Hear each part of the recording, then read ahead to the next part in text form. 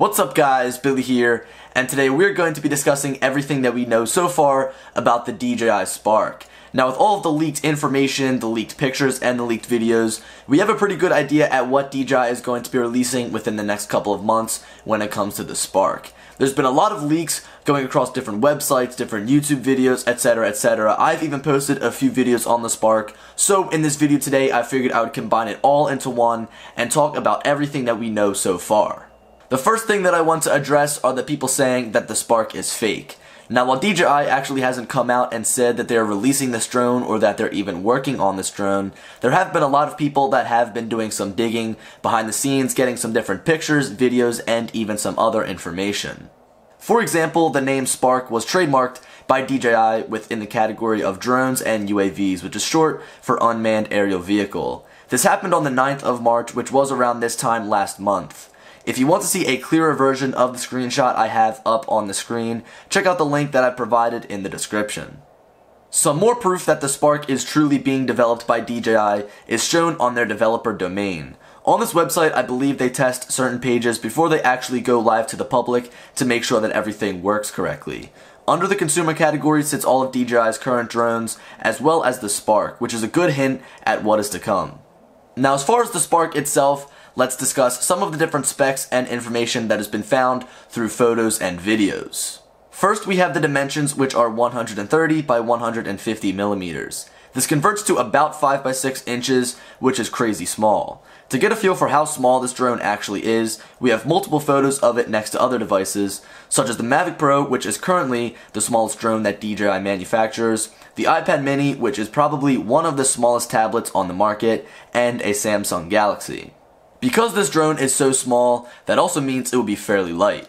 Just the shell alone is about 190 grams, not including the battery or the propellers. The weight of this drone is becoming a lot more important to many, especially Canadians, as drones under a certain weight do not have to be registered. I'm on the fence about the weight of the full package, being the shell, battery, and propellers. Considering a battery that weighs only 60 grams, adding up to 250 total, would not hold all that much power. For comparison, the Mavic Pro battery is roughly 240 grams. Now I know the Sparks battery will be newer than the Mavics and does not need to provide as much power to the smaller motors, but the battery always seems to be the heaviest component of the drone. Again, I'm just spitballing here, but I'm not looking to get my hopes up. The next design feature I want to point out is the non-folding arms. Some people find this to be a deal breaker while others are indifferent due to the small size of the drone already. With such a small footprint, I don't think it'll be that detrimental to have stiff arms. Now, one thing that I do want to bring up is kind of this divide in the community or people looking at the Spark saying that it's either going to be an FPV racer or a selfie drone. Now, we know that a drone this small isn't, you know, that capable of being a cinematic powerhouse like the Inspire 2 or the Phantom 4 Pro, uh, but at the end of the day, we're getting a nice small compact package that should be on the fairly inexpensive side or the cheaper side compared to some other drones out there, and will deliver some pretty good results as far as video and photo quality is concerned. Now the reason that I'm bringing this up is because most race drones have stiff arms, just because stiff arms lead to less breakages, especially when flying at high speeds.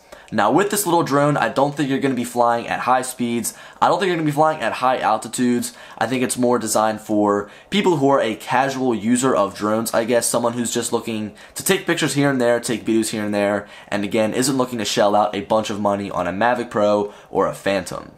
On the front of the drone we have a glass panel just above the camera that houses a single obstacle avoidance sensor as well as an IR sensor, giving us forward obstacle avoidance. Now in the future, I would love to see something this small have 360 obstacle avoidance. I feel like just right now, DJI is kind of working on shrinking those sensors down.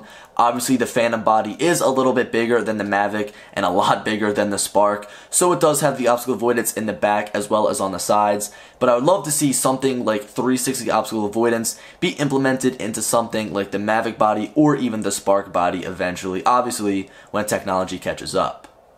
Taking a look at the motors, we immediately notice that they are smaller than the Mavics, but still hold the same design style. This could mean a decrease in performance, but as some people have pointed out in my previous videos, the Spark is a smaller drone, meaning that it won't need the biggest motors to get good results. Another thing that I want to mention is the integration of the quick release system for the folding propellers. It's not that much of a surprise that we see them in the Spark, as many of the newer DJI drones come with this feature. As far as the battery specs are concerned, we're pretty much left in the dark as far as what to expect. We do know that it will be a removable battery, which is pretty much necessary on drones, especially when traveling. The biggest question I have here is charging. Sources are pointing to the Spark having the capability of charging when directly plugged into the wall, which is a first for DJI. I think this feature would be well adopted, especially by those always on the go. Another thing that I've mentioned in my previous videos is this connection just underneath of the drone. Rumors point towards a docking system coming with the Spark, but this could also always just be a prototype. There are plenty of other specs about the battery that we don't know yet, such as the capacity, the milliamp hours, and also the flight time. A lot of people are speculating around 15 minutes, which I guess does make sense. I mean, it is a smaller battery, it is a smaller drone, and a lot of the other drones that fit this nano drone category, like the Yuneec Breeze, do have a battery life or a flight time of around 15 minutes. On the bottom of the drone, we get two VPS sensors, as well as a downwards camera to aid the drone in keeping its position. This is nothing too special, in fact I wasn't all that surprised when I saw the pictures of the bottom of the Spark. I would expect the same stability as a higher end DJI drone, like a Phantom series drone, maybe a Phantom 4, but obviously not in strong gusts of winds due to the size of the Spark.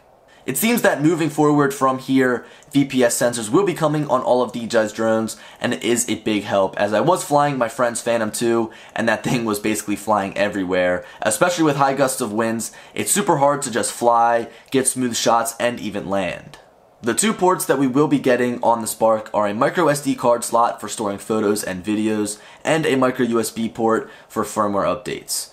When it comes to DJI's drones, I guess that this is fairly typical, but I was kind of hoping that they would make the switch to USB Type-C, but I guess we will have to wait just a little bit longer for that.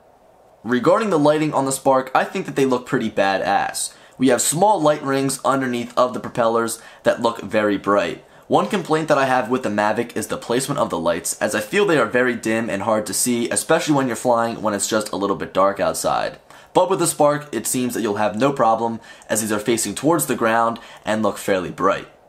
Now for the big topic, that is the camera and gimbal system. Starting off with the camera, we will be able to shoot in 4K with the Spark. This was confirmed by a leaked screenshot of the DJI Go application while hooked up to the Spark itself.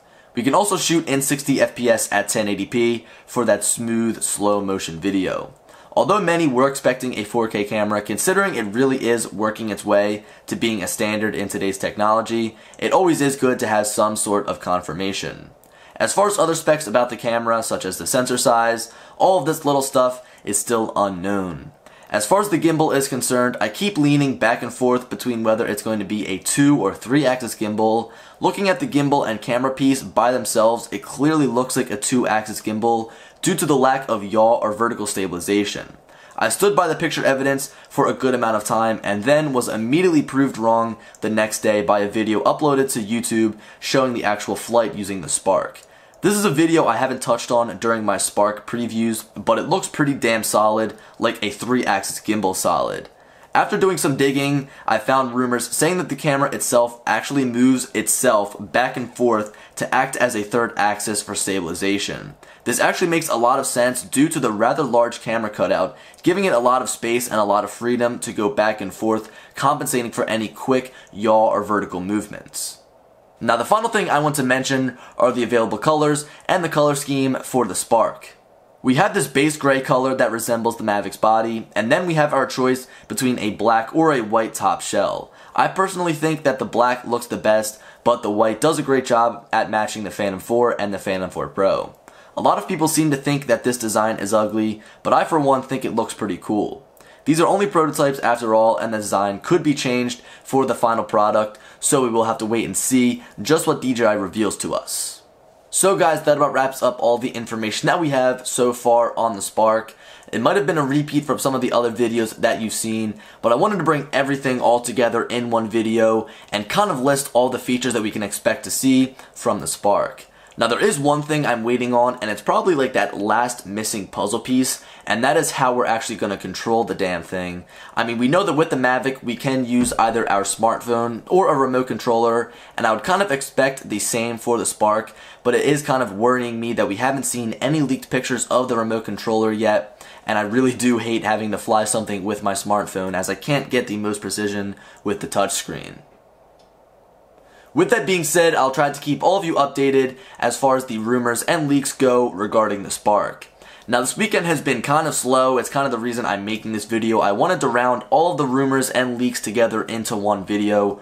Earlier in the week, it seemed like every single day we were getting a brand new picture or some brand new video, but again, this weekend has been pretty slow, so I kind of hope it starts picking up again and we start seeing some pictures of the remote controller, fingers crossed. Uh, so guys, anyway, this video is coming to an end. Make sure to leave a like and subscribe if you are new around here as I have been trying to upload daily. Also, leave me a comment down below letting me know what you think of the Spark. Sometimes people's opinions do change and I know a lot of people kind of hate this drone. I really don't know why, uh, but I do see a lot of negative comments regarding it.